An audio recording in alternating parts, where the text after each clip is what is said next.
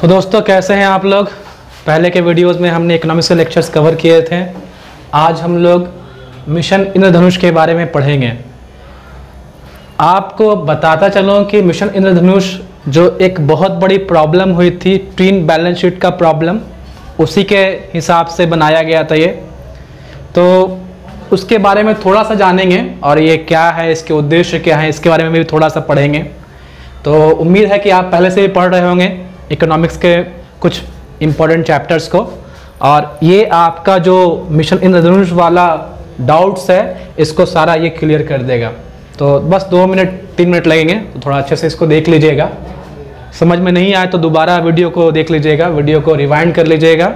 फिर भी समझ में ना आए तो वीडियो को पॉज कर लीजिएगा, फिर थोड़ी देर बाद देखिएगा। मूड फ्रेश करके बिकॉज़ पढ़ाई में मूड फ्रेश बहुत ज़रूरी है। बिना मूड फ्रेश के पढ़ाई नहीं होती है। खैर तो इंद्रधनुष स्कीम जो है, वो एक्चुअली में अगस्त 2015 को लॉन्च किया गया था। अगस्त 2015 में इसको लॉन्च किया था पीएम मोदी ने।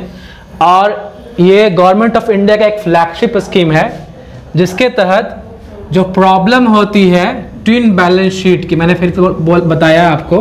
पहले बताया था कि twin balance sheet problem banking sector का एक बहुत बड़ा प्रॉब्लम है।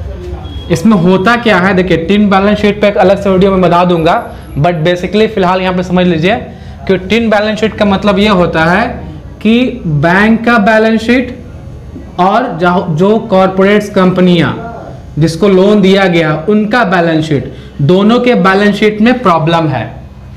तो जब दोनों के बैलेंस शीट में प्रॉब्लम होता है, उसे ट्विन बैलेंस शीट प्रॉब्लम कहते हैं। तो बैंकिंग सेक्टर का जो ट्विन बैलेंस शीट प्रॉब्लम है, उसको दूर करने के लिए मिशन इंद्रधनुष लॉन्च किया गया था अगस्त 2015 में। देखिए एक स्टेप बाय स्टेप प्रोग्राम लाया गया है गवर्नमेंट ऑफ़ इंडिया के द्वारा। स्टेप बाय स्टेप जिसमें कि सात स्टेप है। ये आपका पहला है, दूसरा है, तीसरा है, चौथा है, ये पांचवा, ये छठा और ये सातवां। सात स्टेप लाए गए हैं। सात स्टेप्स के थ्रू हम इसको ए टू जी स्कीम भी कहते हैं। बिकॉज़ ए से शुरू होता है और जी पे खत्म हो जाता है। तो इसे ए टू जी स्कीम भी कहा जाता है। तो इसके through twin balance sheet problems को खत्म करने की कोशिश की जा रही है। नाउ ये ए टू जी है, वो क्या स्टैंड करता है? What does A two G stand for तो ए से होता है अपॉइंटमेंट मतलब जो बैंक में अपॉइंटमेंट होगी, वो अपॉइंटमेंट काफ़ी सोच समझ के किया जाएगा, तरीके से किया जाएगा। कोई भी करप्ट आदमी का अपॉइंटमेंट नहीं करना है। और दूसरा एक जो बी है बी स्टेप, वो क्या है? बैंक बोर्ड ब्यूरो मतलब क्या? कि एक बैंक बोर्ड ब्यूरो की स्थापना की जाएगी। अगेन अपॉइंटमेंट के लिए ही बैंक बोर्ड ब्यूरो की स्थापना की जाएगी। मतलब जो अपॉइंटमेंट होगा, वो करेगा कौन? वो करेगा बैंक बोर्ड ब्यूरो इसको शॉर्ट में कहते हैं triple B bank board bureau तो बैंक बोर्ड ब्यूरो ही अपॉइंटमेंट करेगा बैंक्स में बैंक्स में बहालिया करेगा।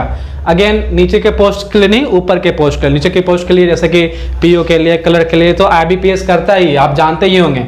अगर आप कॉम्पिटेटिव एग्ज़ाम की तैयारी करते हैं तो आप जानते हैं कि IBPS institute of banking personnel selection ये जो है क्लर्क की या पीओ की बहाली करता है, खैर।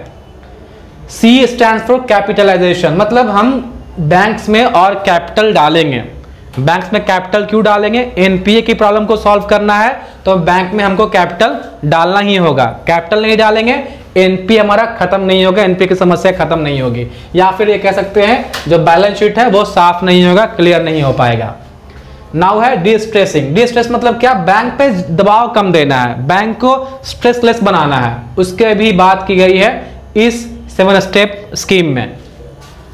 पांचवा स्टेप क्या है? पांचवा स्टेप है इंपावरमेंट बैंक को हम इंपावर करेंगे।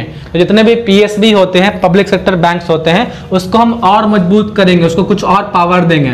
तो इंपावरमेंट की बात भी की जा रही है इस सात सात स्टेप में से, जो पांचवा स्टेप है, वो इंपावरमेंट है। छठा है फ्रेमवर्क ऑफ़ अकाउंटेबिलिटी मतलब क्या? कि अगर कोई बैंक में गड़बड़ी हो रही है, कोई करप्शन का केस है, कोई करप्शन का केस है, या फिर कोई और गड़बड़ी हो रही है तो उस केस में अकाउंटेबिलिटी किस पे दी जाए? मतलब कि कौन जिम्मेवार है उस करप्शन के लिए, कौन जिम्मेवार है उस स्कैम के लिए, वो बताया जाएगा, उसके लिए एक फ्रेमवर्क बनाई जाएगी। उसके लिए एक रूल्स रेगुलेशंस बनेगा कि हाँ किसको जिम्मेवार ठहराया जाए। और लास्ट है governance reforms G for governance reforms मतलब बैंक को गवर्न करने के लिए हम गवर्नेंस पर रिफॉर्म्स करेंगे। एमडी होगा तो एमडी के क्या रोल्स और रिस्पॉन्सिबिलिटीज होंगे? ठीक है सीएमडी होगा, उसके क्या रोल्स और रिस्पॉन्सिबिलिटीज होंगे? ये सारी चीज़ हम गवर्नेंस में देखेंगे। इवन गवर्नमेंट कैसे पीएसबी को टैकल करेगी। ये सब चीज़ हम लोग इसमें देखेंगे। तो ये सात स्टेप का एक स्कीम लॉन्च किया गया है मिशन इंद्रधनुष। तो इसको थोड़ा सा आप लोग याद रखेंगे। तो इकोनॉमिक्स के जो क्वेश्चंस होते हैं ट्विन बैलेंस शीट से संबंधित वो सॉल्व हो जाएँगे। तो आज के लिए इतना ही। मिलते हैं फिर नेक्स्ट वीडियो में। Till then take care